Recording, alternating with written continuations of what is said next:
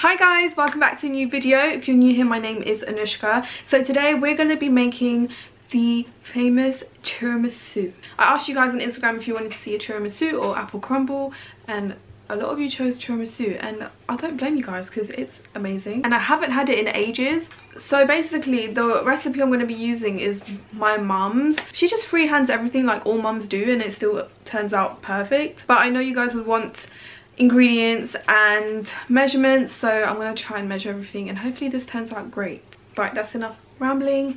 Let's jump straight into it. First thing that you want to prepare is some coffee. I've just used nescafe grains with some water i would say like 500 mil. You don't need that much so you want to prepare this first let it cool down a bit. I'm actually going to use some of this coffee liquor i think this is from france that my mom has kept. And you just want a tablespoon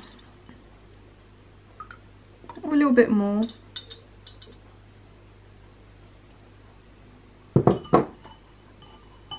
tablespoon and a half I would say. Most recipes will say you need a strong espresso. I mean mine's just pure coffee so it's not like the strongest you can get out there but it does for us. You can then set this aside. I'm then going to use 300 ml of whipping cream. I might put some more but we're going to see how this goes. And we're just going to whisk this a little bit.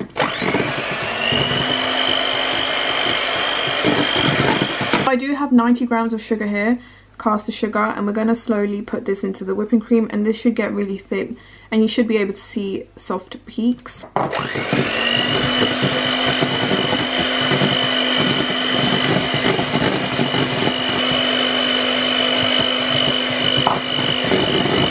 Think I'm going to stop there, but it's very thick. I think I did it too much, but it's okay. The lighting could be better, but it's super late at night right now. This is the key ingredient. You're going to need some mascarpone. I can't say this in English. Mascarpone. Mascarpone. Mascarpone? Mascarpone. Mascarpone. And I'm going to be using 500 grams. Right, you just want to soften this up with your whisk.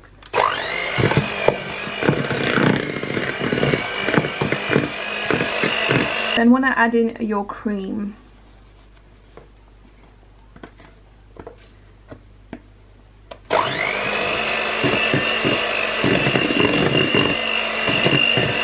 Okay, so we're going to need this.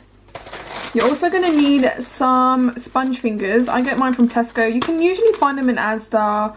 Um, Asda Tesco is where I've seen them the most, but yeah.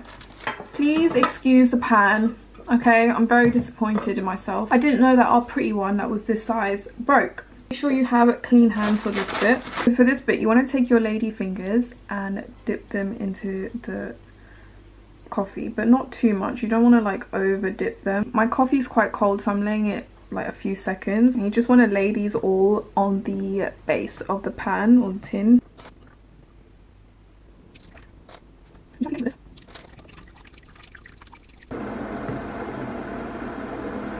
So once you have your first layer down, you just want to start getting your cream mixture and just laying a thick layer on the top.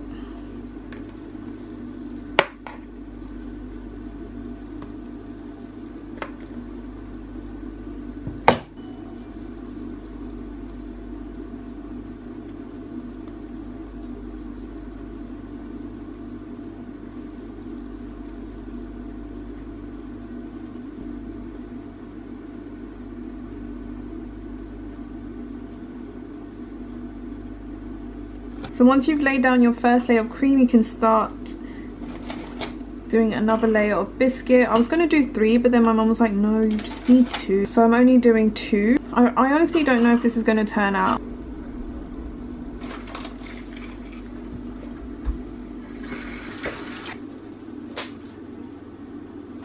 I'm going to put the rest in.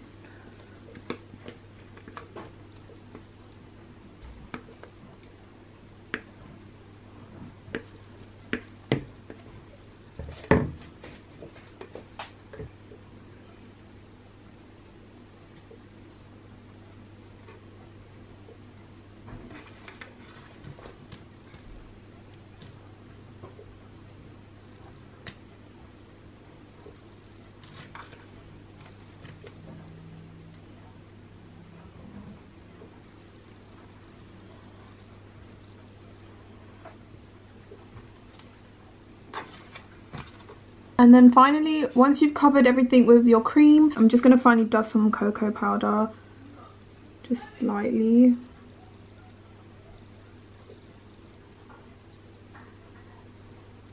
You can just use a darker one, but our darker one is too rich, so I'm just using a normal like milkshake kind of cocoa powder.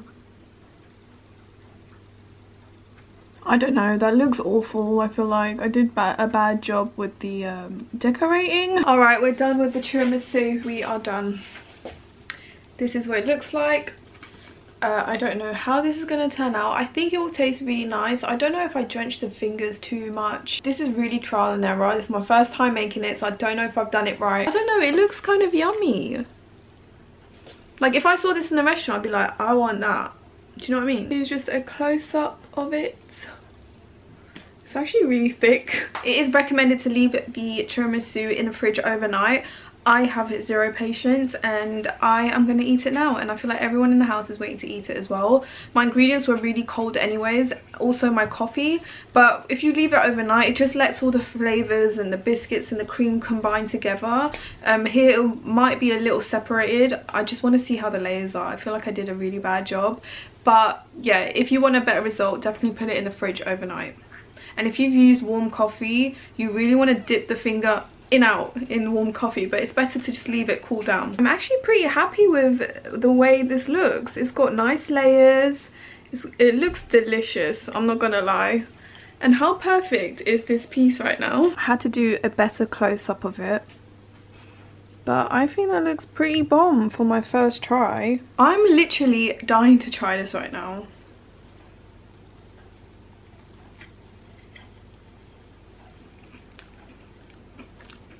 It's weird because like some of the biscuits are a little bit hard in the center and some of them are just perfect.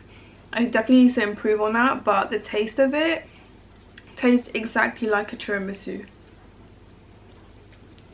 Do you know what you can also do? Between the layers you can put dollops of um, nutella and once you put it in the fridge and everything's cooled and kind of merged together it's like the best thing. We used to eat nutella tiramisu in this like campsite that we used to stay in during our during our holidays when we were younger and we used to demolish those every night.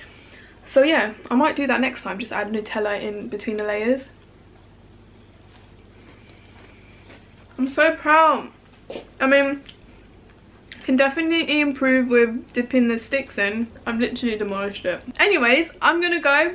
I hope you enjoyed this little it's really a testing video. I didn't think i could pull this off. I tried my best to write down proper measurements in the info box. And yeah thank you so much for watching. Do let me know in the comments below what you want me to bake next. And if you haven't subscribed yet make sure to do so. It really does help me out. And a lot of you that watch my videos are not subscribed. So please press on the red button. And yeah i'll see you guys in my next video